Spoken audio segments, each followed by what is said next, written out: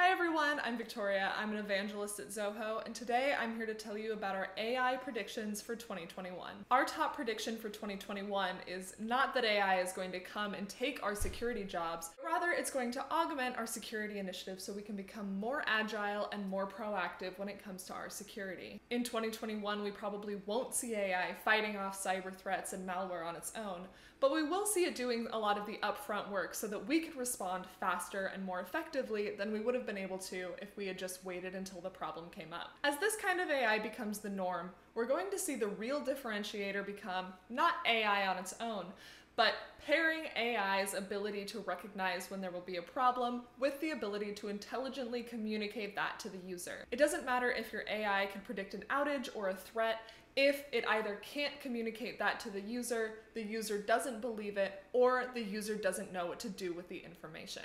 Identifying threats is one thing, but knowing how to effectively warn the right people is the challenge we're looking to in 2021.